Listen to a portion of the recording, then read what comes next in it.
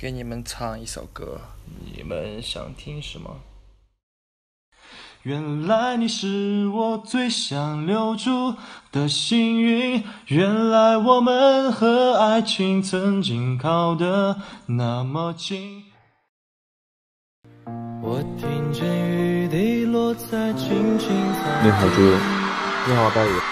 我听见远方下课钟声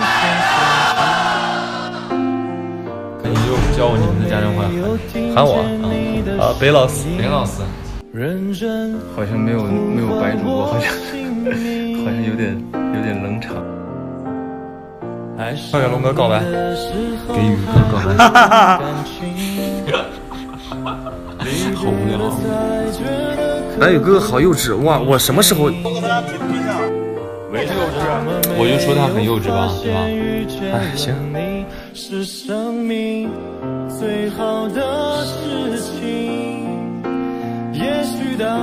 我演毛猴，这是 一个芒果。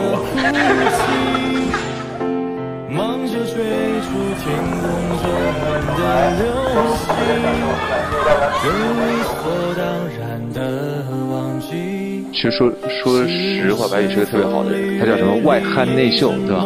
就是内心还是挺挺细腻的。原来你是我最想留住的幸运，原来我们和爱情曾经靠得那么近，那陪我对抗世界的决定，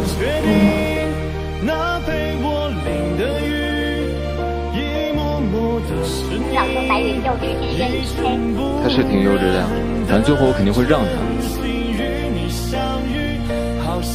平常总和龙哥会一起玩吃鸡，有玩的，龙哥也玩的，然后他也没我厉害。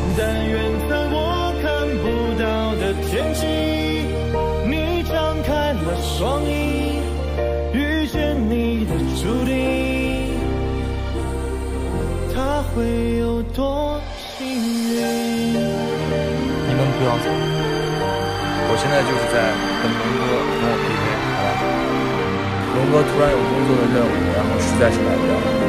下一次龙哥，下次我就因为拍熟了之后，你经常有时候自己突然有脑子里面出现一个好玩的小的一个即兴的反应，因为我信任他，所以我有时候就敢给出来。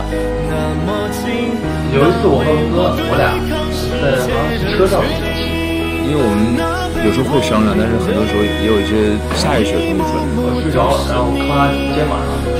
这个我觉得我不能深刻的、深深入的去解析这个事情。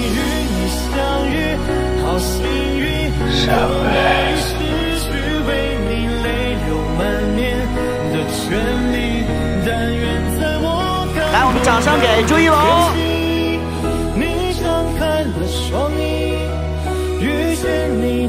好，朱友。你好，白宇。你最想以什么身份出现在顾老师的婚礼？他会有多幸运？